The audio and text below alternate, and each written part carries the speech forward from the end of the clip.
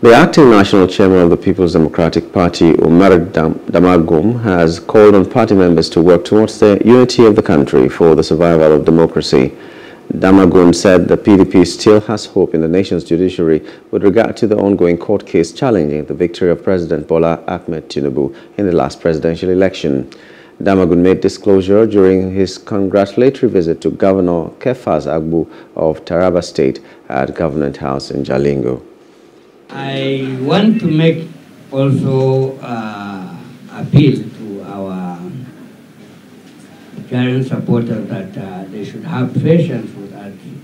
This is a trying moment for us. We lost the presidential candidate, but we are still hopeful.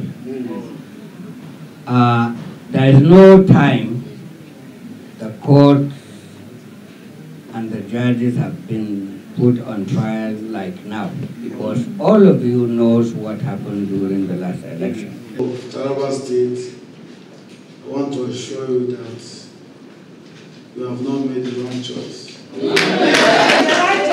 are here for you. We will do what is right. We will unite ourselves together so that we can make progress. 1999, Taraba is PDP and by the grace of God will continue to be PDP. We have no any other party apart from. Hello. Hope you enjoyed the news. Please do subscribe to our YouTube channel and don't forget to hit the notification button so you get notified about fresh news updates.